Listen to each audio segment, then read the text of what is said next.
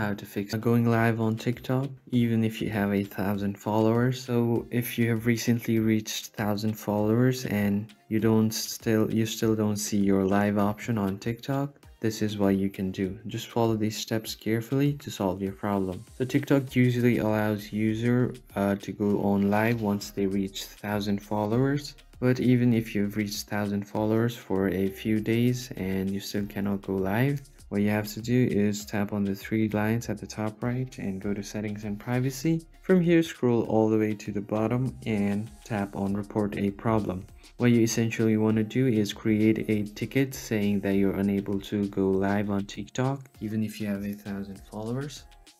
So your problem is related to live, tap on the live drop down and here you see multiple options like hosting live, viewing live and live co-host live matches so you just choose the hosting live option and it will show you all of the related articles that might be uh, of your help.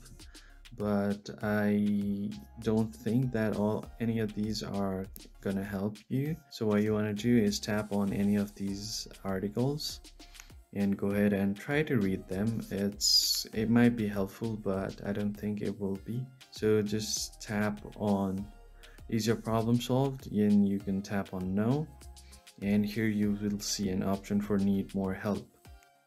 So what you want to type here is create a ticket uh, saying that I've recently reached a thousand followers on TikTok, but I still don't have the option to go live. Please help me fix the problem or something along the line. You can type in those kind of stuff to create a ticket. You can even add photos or videos and then submit your ticket and TikTok will contact you through your email or what whatever you've used to log into your account and after that your problem should be fixed. If you found the video helpful, please hit the like button and I'll see you on the next one. Thanks for watching.